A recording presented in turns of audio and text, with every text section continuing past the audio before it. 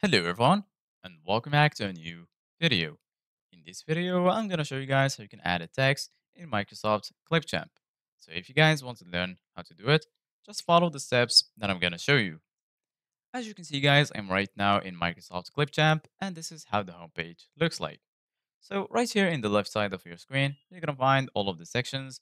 Here you're going to find the home section, BrandKit, templates, and right here, you're going to find all of your folders. Here in the center of your screen, you're going to find the option to create a new video. And from here, you can create a video with AI. So right now, I'm going to click on create a new video. Once you do that, you're going to be right here. So basically, guys, right here, you're going to find all of the tools that you need in order to customize your video. So right now, I'm going to click on import media and then choose a video from my computer. And then I'm going to drag it to the timeline. So right now, if you want to add a text, you can either go to the timeline. Right here, you're to find that text, or you can just click on text here in the left side of your screen.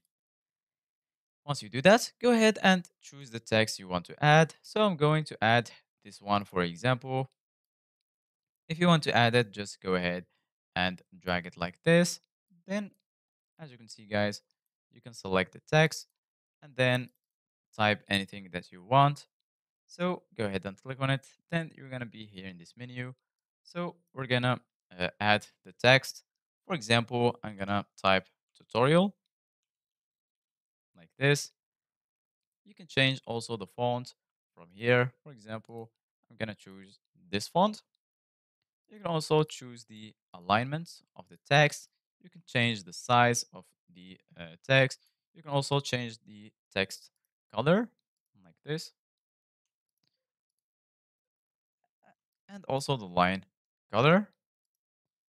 Then you can change the position if you want. And once you finish, click on export to save it. So this is it guys for today's video. Thank you guys for watching. See you guys in the next video.